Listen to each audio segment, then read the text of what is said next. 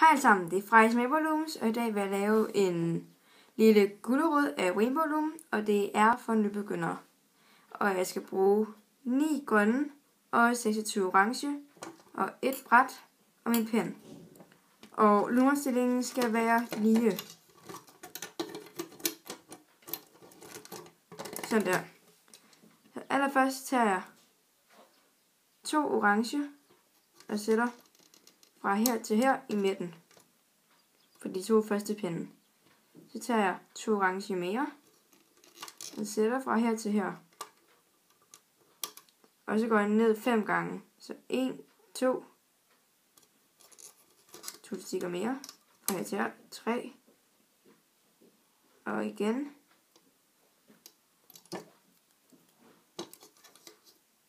Fire. Og en sidste gang.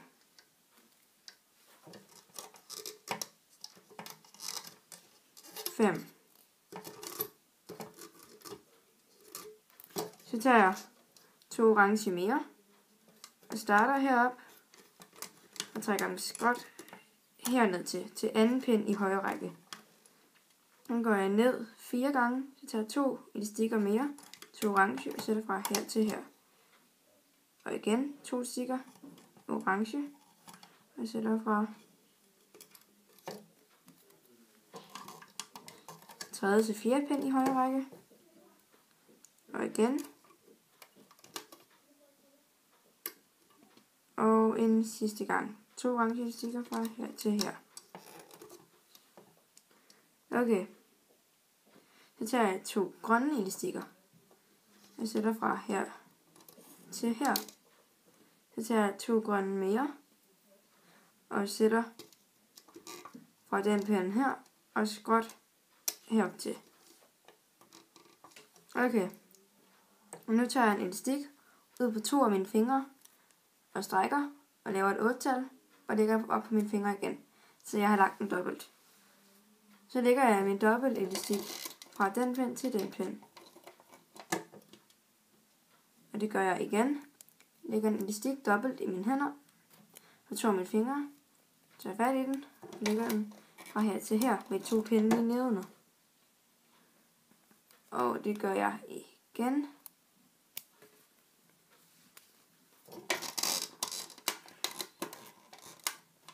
Sådan der. Og det gør jeg en sidste gang. Lægger dobbelt og lægger på de nedenunder. Nu har jeg stadig to orange stikker tilbage, som jeg skal bruge senere. Så tager jeg en grøn stik og lægger den dobbelt. Og lægger fra de to pinde her. Så tager jeg min pen nu og tager en grøn elastik ud på min pen og drejer den, så der kommer to lykker. Og det gør jeg igen med en til elastik på min pen og drejer den, så der er to lykker. Og med en elastik mere på min pen og drejer, sætter på, så der er to lykker mere. Så der er i alt seks lykker. Så tager jeg min sidste grønne elastik ud på spidsen af pinden og holder den fast med mine fingre. Og så løfter jeg alle de seks lykker ud på den grønne elastik. Sådan der. Så stikker jeg pinden igennem den anden der, så der er to lykker her. Tag fat i to lykker mellem min finger og pinden, og sætter de to lykker fast på den pind, der er her. Og trækker den tilbage til pinden bagved. Okay. Så går jeg ned i den pind her. Jeg skiller.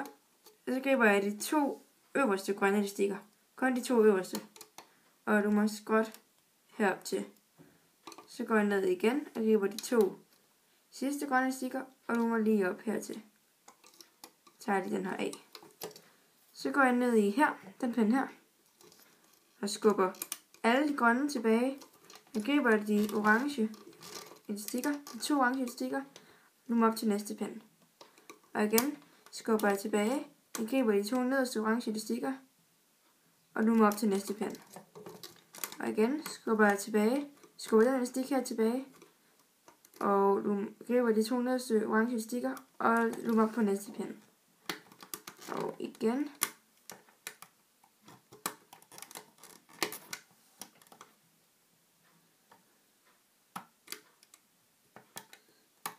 Okay, den her gang, når jeg griber de to orange elastikker, så lumer jeg godt herop til, i stedet for lige op. Så går jeg ned her igen, skubber alle de grønne tilbage, griber de to orange, og nu lige op til næste pind. Og igen skubber tilbage, griber de to orange elastikker, og nu op på næste pind. Og igen.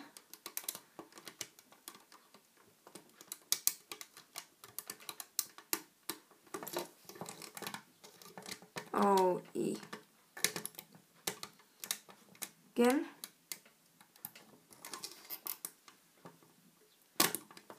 Pause.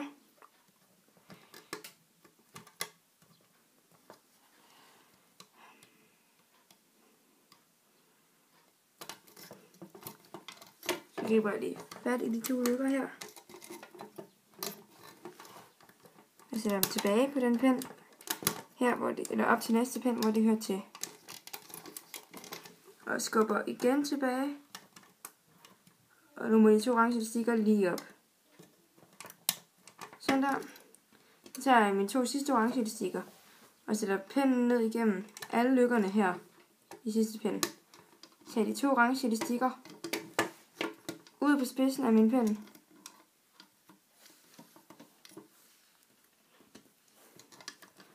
Og hiver dem igennem alle lykkerne her.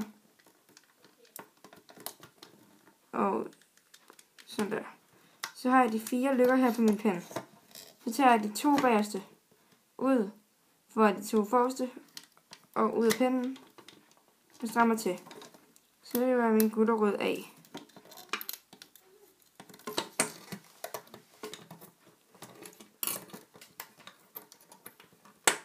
Sådan der.